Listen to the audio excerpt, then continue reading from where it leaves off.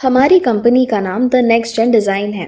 हमारी company web development, graphic designing, digital marketing services बहुत ही कम रेट में प्रदान करती है। हमारा मकसद आपकी बिज़नेस को बढ़ाना है। हमसे जुड़ने के बाद आप अपने बिज़नेस में बढ़ोतरी बहुत ही कम समय में देख पाएँगे। सो जुड़िए हमारे साथ और देखिए अपने व्यापार में आश्चर्यजनक बदलाव। Consumption of drugs, tobacco, and alcohol is injurious to health. This audio presentation does not endorse drug, tobacco, or alcohol abuse in any form. Stop right there, criminal scum! Movement breaks the law on my watch.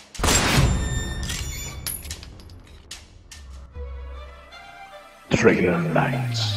Only on YouTube.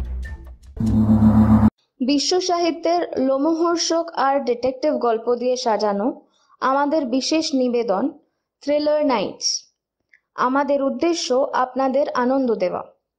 আজ আপনারা শুনবেন একটি আলাদা স্বাদের গল্প, doctor Pakrashi এবং নীল ফুল।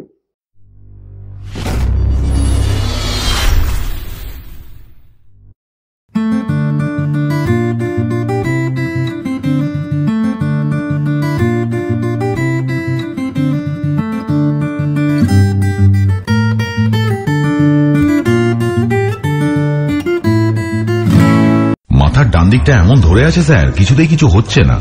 কি করা যায় বলুন তো? কফি খাও। চা খেলাম এই মাত্র। কোনো কাজই হলো না। একটা ওষুধ খেয়ে নি কি বলেন? এই বলে আমি পকেট থেকে একটা মাথা ধরার ওষুধের পাতা বের করে একটা ওষুধ টিপে বের করে মুখে দিয়ে জল দিয়ে গিলে ফেললাম। জলটা ঢকঢক করে খেয়ে নিয়ে দেখি টেবিলের ওদিক থেকে ডক্টর পাকরাশি আমার দিকে ঝুলঝুলে চোখে তাকিয়ে আছেন। ডক্টর পাকরাশিকে তো আপনারা অনেকেই চেনেন। যারা চেনেন না তাদের জন্য আমারই অবশ্য আরেকটা পরিচয় দিয়ে দেওয়া উচিত। আমাদের পাড়া সেই পাগলাটে বুড়ো ভদ্রলোক। উস্কো খুস্কো চুল চোখে উদ্ভ্রান্তের মতো দৃষ্টি যেন কখনো কোথাও মন টিকছে না। তিনি নাকি সাইকোলজিতে এম করেছেন, তুলনামূলক সাহিত্যে এম করেছেন, ইতিহাস, দর্শন, এমনকি পার্সি সাহিত্যেও নাকি এম করেছেন। তার তিন চারটে ডক্টরেট নাকি রয়েছে, এইসব বিভিন্ন বিষয় ছড়িয়ে ছিটিয়ে। ভাবা যায়। আমি অবশ্য মুখ্য সূক্ষ্ম মানুষ, আমি অত কিছু জানি না। পাড়ার চায়ের দোকানে তার সঙ্গে আমার আলাপ। আমি মাঝে মাঝেই তার কাছে আসি গল্প শোনার জন্য। তিনি বলেন, তিনি নাকি অনেক বছর ধরে সাইকিয়াট্রি প্র্যাকটিস করছেন। যা পাগলাটে লোক, পাগলদের ডাক্তার হওয়াই তার পক্ষে ঠিক। তা সবই হলো পাগল ছাগলদের নিয়ে গল্প। আমার অবশ্য শুনতে খুব ভালো লাগে। সে যাই হোক, কোনো গল্পের মধ্যে নয়, আমরা এখন আছি আমাদের পাড়াশি চা কফির দোকানটায়, যেখানে ডক্টর পাকরাশির সঙ্গে আমার আলাপ হয়েছিল প্রথম। টেবিলের ওদিকে বসে থাকা ডক্টর পাকরাশির দিকে তাকিয়ে আমি বললাম, এইভাবে চেয়ে আছেন কেন? তোমার মূর্খামি দেখছি। হ্যাঁ? কি অন্যায়? একেবারে মূর্খ বলে দিলেন? আমি জিজ্ঞেস করলাম, কি মূর্খামিটা দেখলেন একটু বলুন দেখি? হাসলেন ভদ্রলোক। হাসি দেখলে মনে হবে দুনিয়ার কোথায় কি হচ্ছে জানেন না, কিন্তু পেটে পেটে শয়তানি। আমার উপর রেগে গিয়ে মুখখানা ওর গোঁজ করে ফেলো না। এই যে মাথা ধরেছে বলে টপাত করে একটা বড়ি গিলে ফেললে, এটা কি খুব ভালো কাজ হলো? বলছি, মাথাটা কীরকম ভার হয়ে আছে? তা বলে বড়ি খাবে? বড়ি বড়ি করছেন কেন? এ তো মাথা ব্যথার ওষুধ। মাথা ব্যথার কোনো ওষুধ হয় না। মাথা ব্যথা কোনো রোগই নয়। অন্যান্য বিভিন্ন অঙ্গ প্রত্যঙ্গের বেগর বাইয়ের ফলে মাথা ধরে, বুঝেছ? কিন্তু এগুলো খেলে তো মাথা ধরা কমে যায়। মাঝে মাঝে। হ্যাঁ সব সময় নয়। ঠিক? কিন্তু মাথা ধরলেই তুমি ওষুধটা খাও। হ্যাঁ। অর্থাৎ একটা মানসিক নির্ভরতা বা ডিপেন্ডেন্স তোমার ওই ওষুধটার উপরে তৈরি হয়ে গেছে, তাই তো? তাই বলছেন? হাসলেন ডক্টর পাকরাশি। বললেন, না, তা এখনই বলছি না, তবে আমার বক্তব্য ওষুধ বেশি খেয়েও না। হঠাৎ করে ডিপেন্ডেন্স তৈরি হয়ে গেলে মুশকিলে পড়বে। আর ওষুধ খাওয়া সব সময় ভালো নয়। ওষুধের প্রচুর সাইড এফেক্ট থাকে কিনা? মানুষের তৈরি ওষুধ মাঝে মাঝে মানুষের অস্বাভাবিক জীবনকে স্বাভাবিক করে তুলতে গিয়ে ঠিক উল্টোটা অর্থাৎ কিনা মানুষের স্বাভাবিক জীবনটাকেই অস্বাভাবিক করে তুলতে পারে। গল্পের গন্ধ পাওয়া যাচ্ছে। আমি জিজ্ঞেস করলাম, কীরকম কীরকম? ডক্টর পাকরাশি বললেন, তখন আমি, বুঝলে হল্যান্ডের একটা ইউনিভার্সিটিতে গেছি, একটা সাইকিয়াট্রি সেমিনারে পেপার পড়তে। সেখানে গিয়ে আমার হঠাৎই দেখা হলো কেম্পের সঙ্গে। কেম্পকে তুমি চেনো? বলেছি তোমার কেম্পের গল্প। আগে না, আমাকে বিনীতভাবে উত্তর দিতে হয়। ডক্টর পাকরাশি শুরু করেন। কেম্প একজন আমেরিকান সাইকিয়াট্রির ছাত্র। তার গবেষণার বিষয় ছিল স্বপ্ন।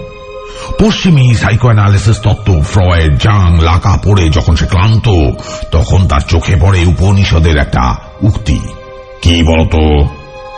আমি কি করে জানব? আপনি বলুন। মানুষের মন হলো আয়নার মতন, সেখানে বিশ্বের ছায়া পড়ে। আর যখন মানুষ ঘুমোয়, তখনই সেই আয়নাটা বুঝে যায়। সেই আয়নায় আর বহির্বিশ্বের ছায়া পড়ে না। তখন সেখানে এসে বসেন পরমাত্মা। মানুষের আত্মা, যার এক টুকরো প্রকাশ মাত্র। বাপ রে বাপ, সেইটি পড়ে তার মাথাটা গন্ডগোল হয়ে যায়। তার মাথায় চাপে প্রথমত তাকে সংস্কৃত শিখতে হবে এবং দ্বিতীয়ত তাকে উপনিষদটা পুরোপুরি জেনে ফেলতে হবে। তারপর সে সোজা উড়ে চলে আসে ভারতবর্ষে এবং গিয়ে পৌঁছয় বেনারসে। তারপর কি হয় বলতো কি? বেনারসের সাধুরা তাকে প্রচুর নেশা করিয়ে বিশ্বাস করিয়ে দেয় যে সত্যি সত্যি ব্রহ্ম সত্য, জগৎ মিথ্যা। চলে যায় তার স্বপ্ন নিয়ে গবেষণা। সে নিজের জীবনটাকেই স্বপ্ন বানিয়ে ফেলতে শুরু করে। বেনারস থেকে আরও অনেক দলে পড়ে, অনেক ঘাটে মিশে এসে এসে পৌঁছয় এই কলকাতায়। আর আমি তাকে আবিষ্কার করি শিয়ালদা স্টেশনে। নেশায় অসুস্থ হয়ে সে প্ল্যাটফর্মে লুটিয়ে পড়ে আছে। পুলিশ তাকে দেখছে সন্দেহজনক দৃষ্টিতে। তার হাত ক্ষত বিক্ষত পরে শুনেছিলাম সে নিজেই নাকি নিজের হাত চিরেছিল ব্লেড দিয়ে। সর্বনাশ? কেন? চড়কের মেলা দেখনি কখনো? দেখনি কাঁটাওলা চাবুক কেমন লোকে নিজের ইচ্ছে পিঠে সপাত সপাত করে চালায় নিজেই। সেই একই কারণে। আমি দেখলাম একটা রোগা শ্বেতাঙ্গ যুবক শুয়ে আছে প্ল্যাটফর্মে তার চুলে বহুদিনের নোংরা, মুখে না কাটা দাড়ি, তার ঝোলাটা খুলে গেছে। ঝোলার ভিতর থেকে বেরিয়ে পড়েছে দু তিনটে বই, একটা শঙ্করাচার্যের লেখা, উপনিষদের ভাষ্য, আর অন্যটা ফ্রয়েডের ইন্টারপ্রিটেশন অফ ড্রিমস আরেকটা কি আমি বুঝতে পারলাম না। কি করলেন আপনি? আমি ছেলেটির দিকে এগিয়ে গিয়ে দেখলাম সে সংজ্ঞাহীন, এবং তাকে দেখে মনে হলো, এই মুহূর্তে তার চিকিৎসা না করালে আর হয়তো তাকে বাঁচানো যাবে না। ভাগ্যক্রমে সেই সময় আমার সঙ্গে এক রিহ্যাবিলিটেশন সেন্টারের সম্পর্ক ছিল। মানে সেখানে গিয়ে আমি কাউন্সেলিং করতাম আর কি। আমি করলাম তাদের ফোন তারা এসে ছেলেটিকে নিয়ে গেল। আমি টাকা পয়সা দিলাম। এক সপ্তাহ সেখানে আমি গেলাম না। শুনলাম প্রচণ্ড ভায়োলেন্ট হয়ে গেছে। নেশার জিনিস না পাওয়ায় শারীরিক অসুবিধে হচ্ছে রীতিমতো। আমি দশ দিনের দিন গেলাম। তখনও মাঝে মাঝে ছেলেটি ভায়োলেন্ট হয়ে উঠছে, কিন্তু বেশিরভাগ সময় শান্ত আছে। আমার সঙ্গে সেই শান্ত অবস্থায় দু একটা কথা হল। বলল ওর নাম দাম পরিচয়, কাজকর্ম, ভারতে আসার আসল উদ্দেশ্য কি ছিল? সেই ব্যাপারেও বলল, আমি বললাম, কিছুদিন ওর টাকা পয়সার দায়িত্ব আমি নিচ্ছি। ও যেন সুস্থ হবার একটা চেষ্টা করে। কৃতজ্ঞ চোখে আমার দিকে তাকালো কেম্প। আমি বুঝলাম, মনে মনে ও নিজেও এরকম কিছু একটাই চাইছিল। ও চাইছিল না আর উদ্দেশ্যহীনের মতো ঘুরে বেড়াতে। তারপর? তারপর আর কি। কেম সুস্থ হয়ে উঠল তিন মাসের মধ্যে। বিশাল মনের জোর ছেলেটার। প্রায় সব নেশা ছেড়ে দিল আর ফিরে গেল নিজের ইউনিভার্সিটিতে। উপনিষদ আর পশ্চিমী তত্ত্ব মিলিয়ে বেশ একটা তুলনামূলক স্বপ্ন বিশ্লেষণ রীতি খাড়াও করে ফেলল। সংস্কৃতটাও শিখে ফেলেছিল সত্যি সত্যি। আর টাকা জমিয়ে ওর পেছনে যা খরচ হয়েছিল আমার, সেসবও ফেরত পাঠিয়েছিল আমায়। ভাবতে পারছ কি জীবন? অসাধারণ। হ্যাঁ তো সেই সেমিনারটায় গিয়ে কেম্পের সঙ্গে আমার দেখা। আমরা কেউই তো আগে থেকে জানতাম না যে দেখা হবে, তাই হঠাৎ দেখাটায় আমরা ভীষণ আনন্দিত হলাম। কেম্প এখন পেশাদার চিকিৎসক। তার চেহারা দেখে মনে হয় সে যেন সত্যিই উপনিষদের আর্য সাধু। শুধু কোট প্যান্ট পরেছে এই মাত্র সে আমাকে একটা অদ্ভুত গল্প বলল। কি গল্প? বলব বলব। চল এক কাজ করি, বাড়ির দিকে পা বাড়াই। যেতে যেতে গল্প বলা যাবে। চাই কি আমার বাড়িতে কিছুক্ষণ আড্ডা দিয়ে যেতেও পারো। যা চাই সব কি আর পারি, স্যার? বাড়িতে এখন গিন্নি আছেন। বেশ বেশ বেশ। আমাকে বাড়ি পর্যন্ত দিয়ে ফিরেই যাবে তাহলে। কিন্তু এখন একটু উঠি, অনেকক্ষণ বসে থাকা হলো, বাবা। যা কথা, তাই কাজ। শটান চেয়ার থেকে উঠে পড়লেন ডাক্তার পাকরাশি। কি আর করা? আমাকে উঠতে হলো। চায়ের বিল মিটিয়ে পথে বেরোলাম আমরা দুজন। বেরিয়েই বিড়ি ধরালেন ডাক্তার পাকরাশি। মধ্য কলকাতার অটো আকীর্ণ গলিপথ ধরে আস্তে আস্তে ডক্টর পাকরাশির বাড়ির দিকে চললাম আমরা। আমি বললাম, কই, শুরু করুন। আপনার সেই ক্যাম্প কি বলল আপনাকে? ও হ্যাঁ হ্যাঁ শোনো। তোমাকে তো বললামই, ক্যাম্প এখন পেশাদার চিকিৎসক হয়ে উঠেছে। বহু রোগী হয়েছে তার, যারা তার কাছে নিয়মিতই আসে মানসিক অসুস্থতার জন্য পরামর্শ নিতে। বহু অদ্ভুত লোকের সঙ্গে তার পরিচয়। এরকমই একজনের কথা সে আমাকে শোনালো। ছেলেটির নাম স্টিফেন। সে একজন ছাত্র। মেডিকেল পড়ে একটি কলেজে। ছাত্রদের একটি হস্টেলে থাকে। যা স্টাইপেন্ড পায়, তাই দিয়ে এই খরচ খরচা চালায় নিজের ক্যাম্প তার হোস্টেলে একদিন গিয়েছিল নিজের এক বন্ধুর সঙ্গে দেখা করতে। সেই বন্ধুটি তাকে বলে, মেডিকেলের একজন ছাত্র নাকি তার হোস্টেলে থাকে, যে অদ্ভুত অদ্ভুত জিনিস দেখে ভয় পায় রাতে। কাঁদে। গোটা হস্টেল তার উপর বিরক্ত। ছেলেটাকে দেখলে মনে হয় সে যেন এই জগতেই নেই। ক্যাম্পের খুব কৌতূহল হয়। একবার দেখতে ইচ্ছে করে সেই ছেলেটাকে। সে যায় ছেলেটার কাছে। ছেলেটি তখন ঘুমোচ্ছিল। তখন সকাল সাড়ে এগারোটা বাজে। ক্যাম্প তার বন্ধুকে জিজ্ঞেস করে, ছেলেটি এখন ঘুমোচ্ছে কেন? ওর কাজকর্ম নেই? ক্যাম্পের বন্ধু উত্তর দেয় স্টিফেন নাকি সারা রাত ঘুমোতে পারে না? ওর ঘুম আসে হয়তো সকালের দিকে। প্রায় বিকেল পর্যন্ত মরার মতো ঘুমোয়। তারপর ঘুম থেকে উঠে চলে যায় ইউনিভার্সিটিতে। রিসার্চ করছে কি বেশ নিয়ে। গাইডের সঙ্গে কথাবার্তা বলে লাইব্রেরি ওয়ার্ক করে যখন সে ফেরে তখন গভীর রাত্রি। সেই গভীর রাত্রি থেকে ভোর পর্যন্ত নাকি চলে তার পাগলামি। ক্যাম্প বলল এই গল্পটা শুনে এসে উৎসাহ পেয়ে যায় সেই স্টিফেনের সঙ্গে কথাবার্তা বলার। কিন্তু সেদিন তার কথাবার্তা হয় না। সেদিন সে ওঠেই না। স্টিফেনের সঙ্গে তার কথা হয়। এর বেশ অনেকদিন পরে আবার সে যখন সেই হোস্টেলে যায় তখন। কথা বলে, কিন্তু তার খুব একটা অস্বাভাবিক কিছু মনে হয় না। স্টিফেন ডাক্তারি পাশ করেছে বেশ কয়েক বছর হয়ে গেছে। কিন্তু তার প্র্যাকটিস করতে ভালো লাগেনি খুব একটা।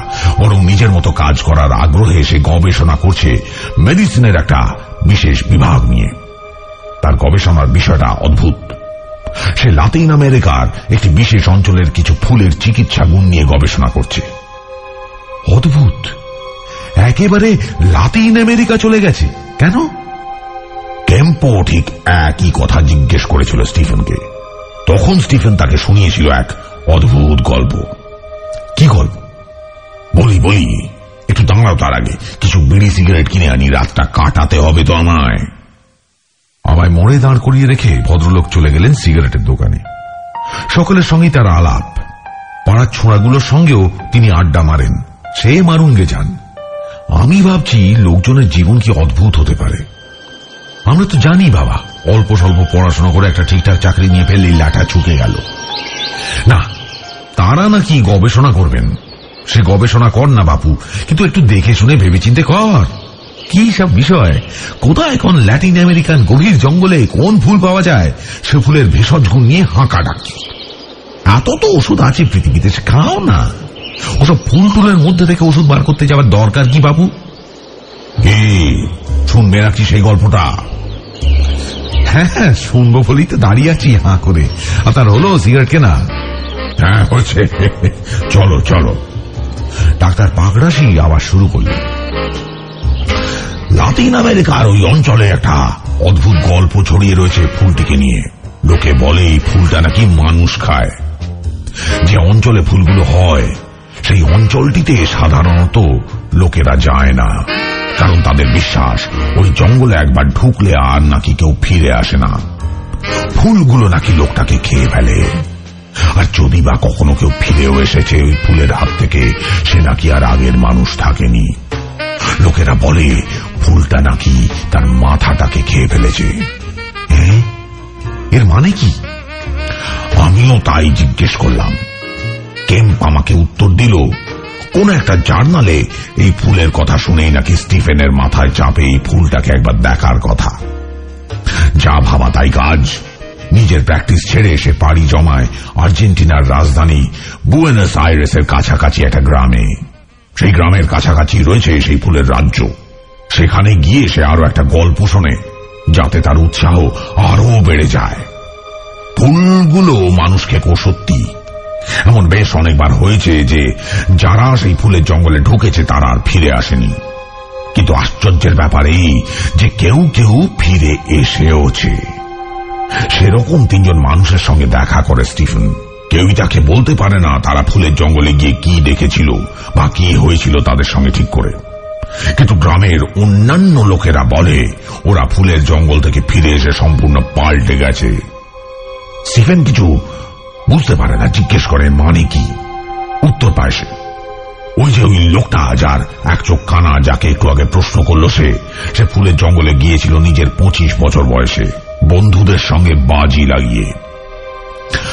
জঙ্গলের ভেতরে যাওয়ার করাত ছিল না, একটা ফুল তুলে আনতে পারলেই বাজিতে জিতে যেত সে। কিন্তু সেদিন রাতে সে ফুল তুলতে গিয়ে উধাও হয়ে গিয়েছিল জঙ্গলের বাইরে তার বাইকটাকে ফেলে রেখে।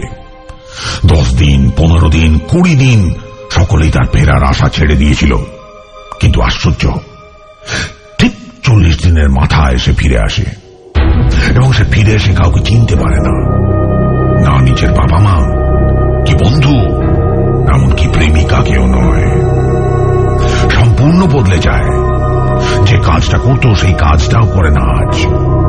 করে কে যেন একটা বাঁশি জোগাড় করেছিল।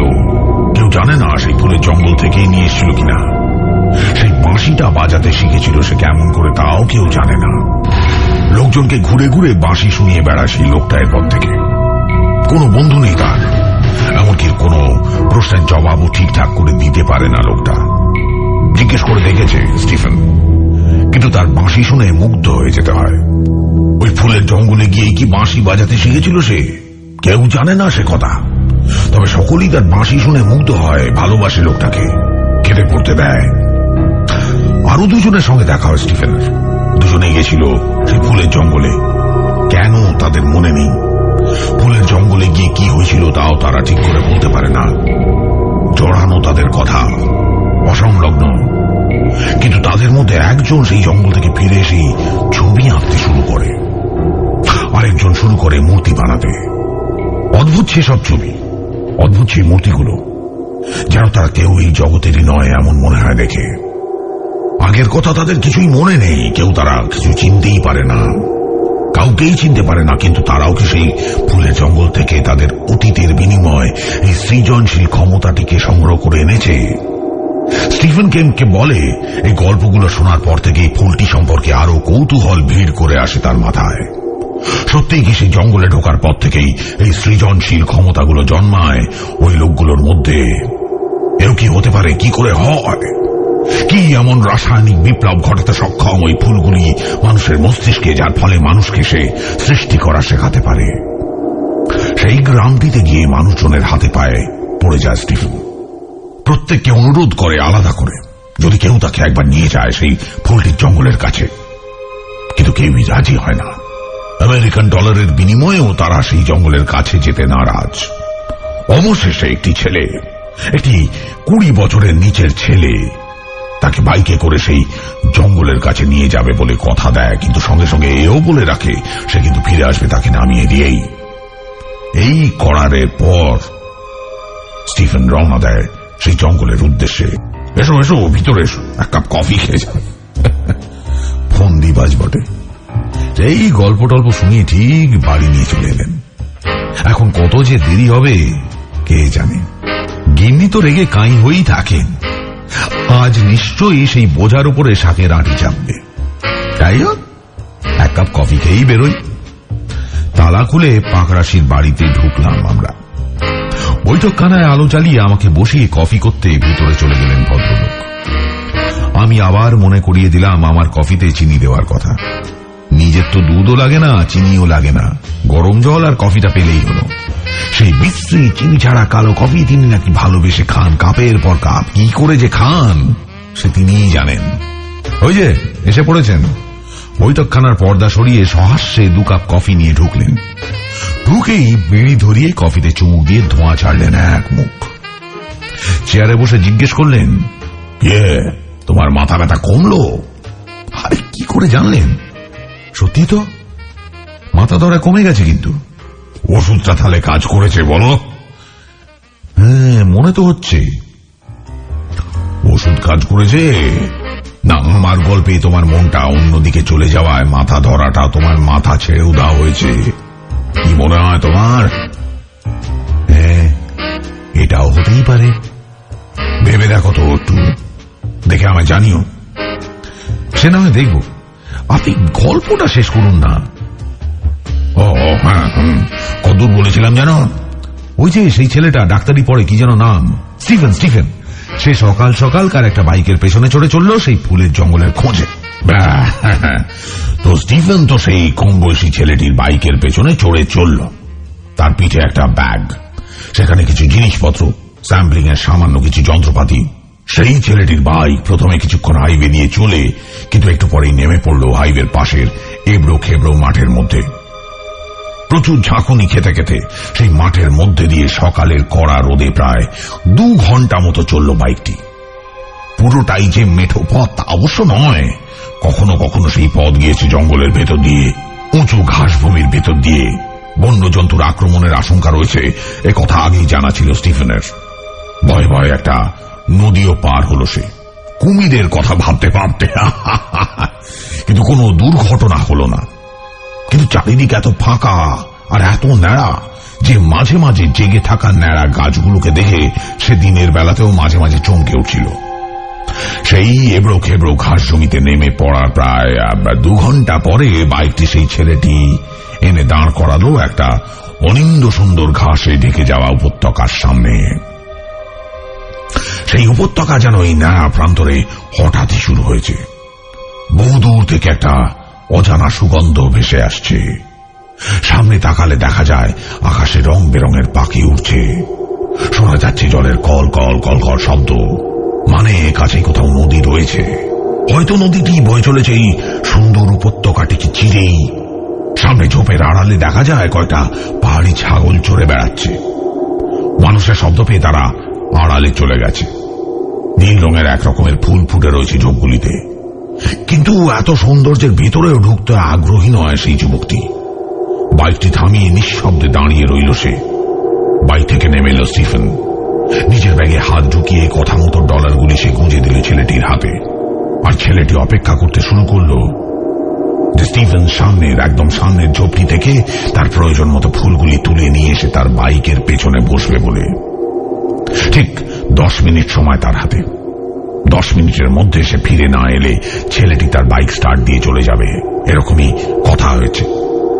পুরো টাকা সে আগেই পেয়ে গেছে। কাঁপা কাঁপা পায়ে সেই উপত্যকাটিতে প্রবেশ করে স্টিফেন। এই ফুলগুলি, এই যে নীল ফুলগুলি কাছের ঝোপটিতে ফুটে আছে সেই ফুলগুলি মানুষ খায়, বিশ্বাস করতে ইচ্ছে করে না তার। সে নেই ফুলের গাছটির দিকে এগিয়ে যেতে যেতে ক্রমশ তার চোখের সামনে যেন পুরো উপত্যকাটি ভেসে আসে। সে দেখে ক্রমশ নিচু হয়ে যাওয়া একটি উপত্যকা তার সামনে খুলে যাচ্ছে আস্তে আস্তে। গোটা উপত্যকাটি নীল হয়ে আছে, সম্পূর্ণ নীল। বহু বহু চা গাছের মতো ছোট ছোট ঝোপ গোটা ঢালু উপত্যকাটি জুড়ে, আর সেই ঝোপগুলিতে ফুটে রয়েছে। অসংখ্য নীল রঙের ফুল। কি একটা অদ্ভুত সুগন্ধ ভেসে আসছে সেই ফুলগুলি থেকে।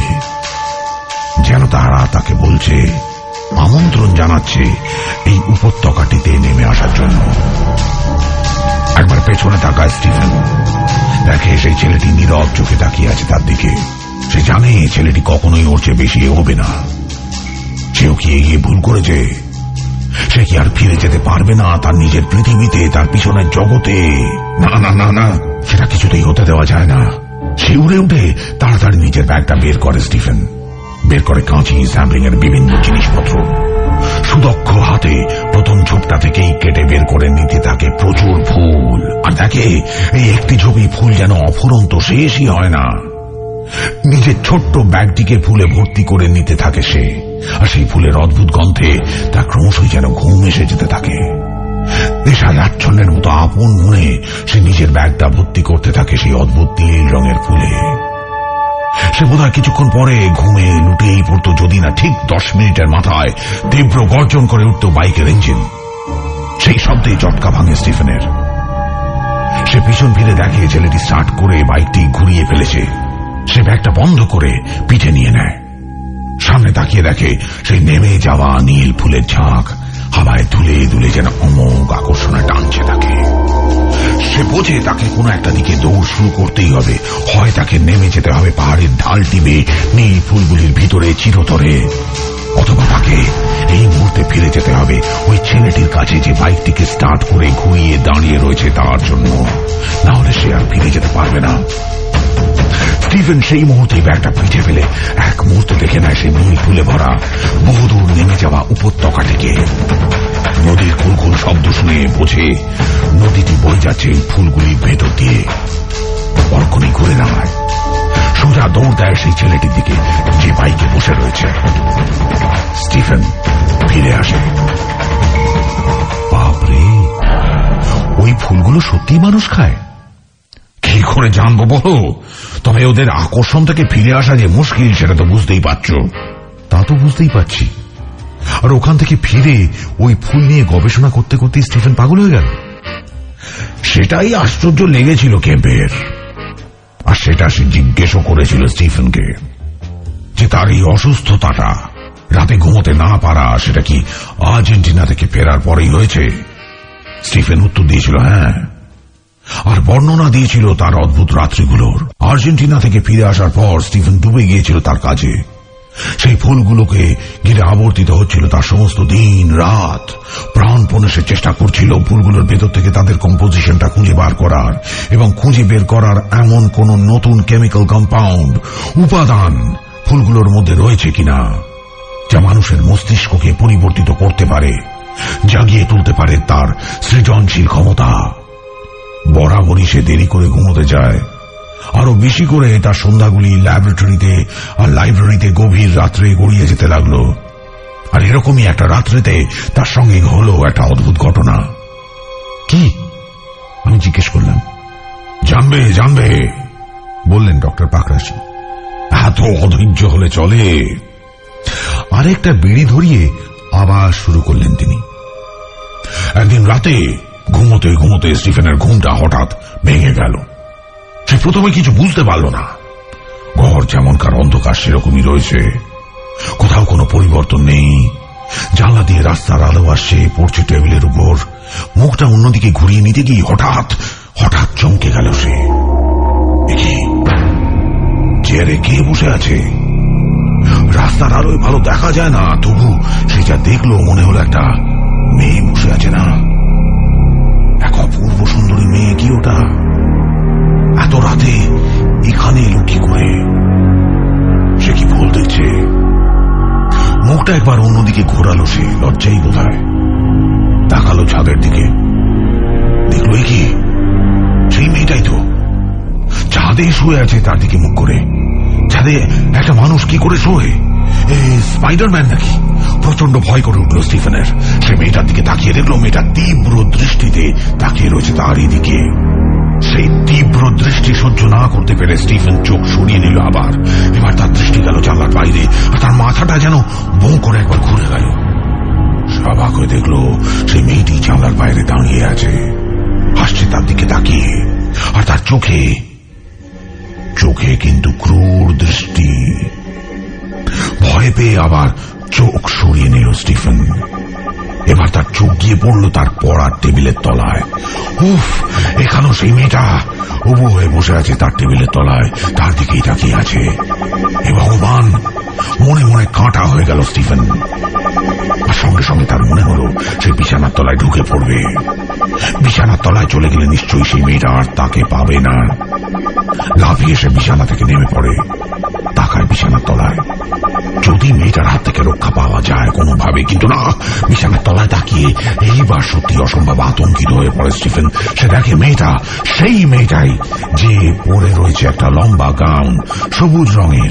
সে তার বিছানার তলাতেই বসে আছে, তার দিকে তাকিয়ে। আর তার দিকে হাত বাড়িয়ে রয়েছে। হাতছানি দিচ্ছে যেন। মেয়েটার চোখগুলো সবুজ। ধক ধক করে চলছে সেগুলো। স্টিফেন লাভ দিয়ে উঠে পড়ে তার বিছানার পাশের বিছানাটায়। ধাক্কা দেয় জর্জকে। ঘুম চোখে জর্জ ওঠে। জর্জ একটা চাকরি করে ইন্স্যুরেন্স এই মেডিকেল কলেজে পড়া বাংলাটে ছাত্রটির ঘরেরই আরেকজন বোর্ডার সে। সে যথেষ্ট বিরক্ত হয়। সে দেখে স্টিফেন হাউ হাউ করে কাঁদছে আর তাকে জড়িয়ে ধরছে ভয়ে। গোটা রাত জর্জকে জড়িয়ে ধরে হাউ হাউ করে কাঁদে স্টিফেন। জর্জের বিরক্তিকে সে পাত্তা দেয় না। নিতান্ত ভয়ে ভয়ে যখনই সে জর্জের দিক থেকে মুখ ফিরিয়ে অন্য কোনো দিকে তাকায়, তখনই দেখে তার দৃষ্টির সামনে এসে দাঁড়িয়েছে সবুজ গাউন পরা জল জলে সবুজ চোখের সেই মেয়েটি। আবার সে মুখ ফেরায় জর্জের দিকে, হাউ হাউ করে ভেঙে পড়ে কান্নায়।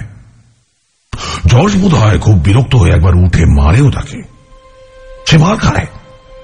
জর্জের থেকে তার কোনো ভয় নেই, সে জানে তার যত ভয় ওই মেয়েটিকে। জর্জ বিরক্ত হয়ে যখন বেরিয়ে যেতে চায়, তখন সে পায়ে ধরে জর্জকে আটকে রাখে। জর্জ অপারগ হয়ে শুয়ে পড়ে তার নিজের বিছানায় আবার। আর স্টিফেনও তাকে জড়িয়ে ধরে কাঁদতে কাঁদতে ঘুমিয়ে পড়ে কোনো দিকে তাকাতে চেষ্টা না করে। পরের দিন সকালে স্টিফেনের ঘুম ভাঙে নিজের বিছানায়। আর তার কি মনে পড়ে জানো? কি? জিজ্ঞাসা করি আমি। ডাক্তার পাকরাশি হিমশীতল গলায় উত্তর দেন, জর্জ, একটা মৃত লোকের নাম। সে এক মাস আগে জলে ডুবে মারা গেছে।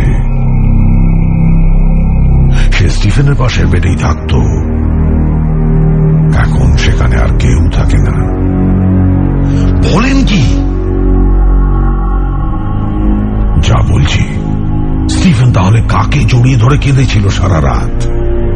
ওই মেয়েটি কেমকে স্টিফেন যা বলেছিল, তাতে মনে হয় সেই মেয়েটিকে আগেও কখনোই দেখেনি। আর এরকম পাগলামির কারণই বা কি মনে হয় তোমার? জানি না বাপু। আপনি জানেন? আর আপনার ওই কেম জানে? জানি তো বটেই। আর এই শেষ নয়। স্টিফেন তারপর থেকে প্রতিদিনই কিছু না কিছু অদ্ভুত অদ্ভুত জিনিস দেখতে শুরু করে। এমনকি শেষ পর্যন্ত বিভিন্ন লোকের চেহারা চোখের সামনেই পরিবর্তিত হয়ে যেতে বা মানুষের বিভিন্ন রং হয়ে যেতেও দেখে। সেসব বিবরণ স্টিফেন লিখেও রাখতো একটা ডায়েরিতে। কেম সেই ডায়েরির একটা ফটোকপিও দেখায় আমায়। দেখে আমরা একে অপরের দিকে তাকিয়ে হাসি। কেন? হাসেন কেন? এই যে, স্টিফেনের আসল গলদটা ধরে ফেলি বলে। কি? ওষুধ তৈরির নেশা। ওই যে বড়ি যা তুমি গপ করে খাও। সেই বড়ি তৈরির নেশায় ফেসে গিয়ে আসলে স্টিফেন খুঁজে বের করেছিল একটা অদ্ভুত ফুল, যার সত্যি হ্যালুসিনোজেনিক ক্ষমতা আছে। অর্থাৎ মানুষের সচেতন ও অচেতনকে ওই ফুলগুলির মধ্যে কোনো কেমিক্যাল কম্পাউন্ড উল্টো পাল্টা করে দিতে পারে। এবারেই আন্দাজ করা কি খুব কঠিন যে ল্যাবরেটরিতে সেই ফুলগুলির ভেষজ ক্ষমতা অনুসন্ধান করতে করতে স্টিভেন নিজের উপরেই প্রয়োগ করতে শুরু করে সেই ফুল দিয়ে বানানো ওষুধ।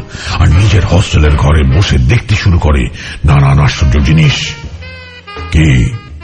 ভুল কিছু বললাম? না। না, একেবারেই না।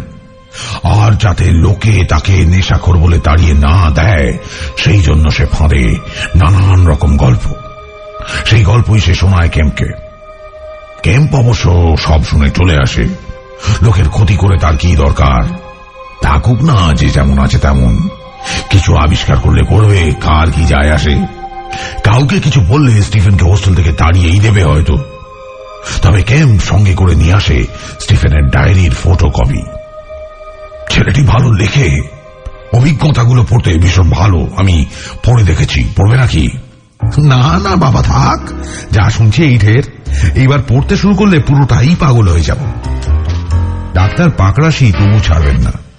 ফট করে বলে দিলেন, দেখো, আবার তার আগেই মাথা ধরা কমানোর খেয়ে পাগল হয়ে যাও না।